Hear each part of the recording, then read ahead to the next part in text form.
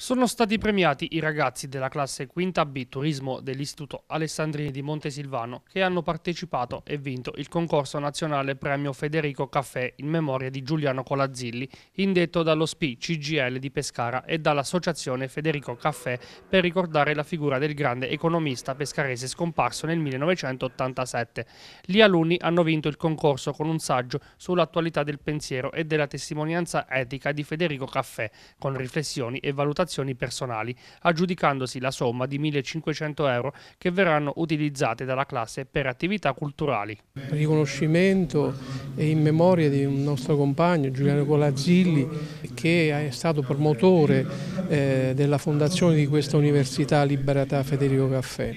E abbiamo quindi voluto istituire questo premio proprio per riconoscere non solo la storia e il pensiero etico di questo illustre nostro concittadino, ma anche per dare possibilità ai ragazzi, ai giovani, alle scuole di conoscere fino in fondo questo pensiero che in un momento come quello attuale ritorna di grande, di grande emergenza, di grande eh,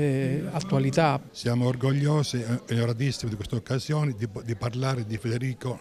caffè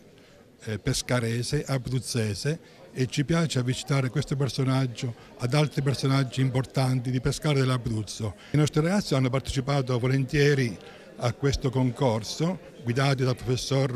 dal professor Troiani e dal professor Pompei che ha scritto anche un saggio sul caffè e quindi i ragazzi sono avvicinati con molto entusiasmo, con molta passione, si sono, si sono molto impegnati e il risultato di oggi è la conseguenza logica dell'impegno che hanno messo in questa attività scolastica.